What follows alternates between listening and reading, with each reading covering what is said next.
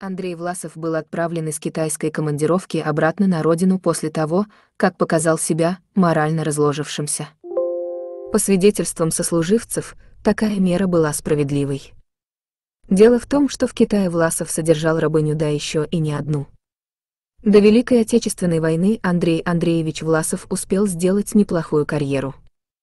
Власов сумел заслужить такое доверие у командования, что в 1938 году был направлен в Китай. Как пишут Александр Колпакиди и Александр Север в своей книге «Литерные дела Лубянки», поначалу полковник был начальником штаба главного военного советника Александра Черепанова, чуть позже стал советником генерала Ян Сишаня, а потом главным советником при Чан Кайше. По мнению некоторых историков, за отличную службу Андрей Власов был удостоен золотого хронометра, который получил из рук супруги Чан Кайши, и ордена Золотого дракона, согласно другим сведениям, Белой луны. Однако многие считают, что орден Власов не получал.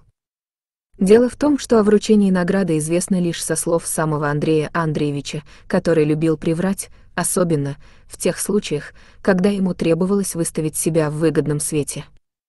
Как бы то ни было, информация о том, что Андрей Власов служил в Китае, ни у кого сомнений не вызывает. Мало того, если верить Александру Катусеву и Георгию Апокову, которые имели возможность познакомиться с материалами уголовного дела генерала, обратно на родину Власова вернули по обвинению в аморальном разложении. Данный факт подтверждается тем, что всех советников по возвращении в СССР награждали орденами. Власов же оказался единственным военачальником, не получившим ордена. О недостойном поведении Андрея Власова в Китае вспоминали и его сослуживцы.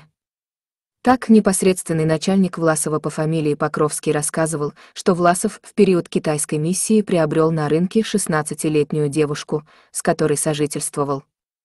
Но одной рабыни Андрею Андреевичу было недостаточно, и вскоре у него появились еще три наложницы.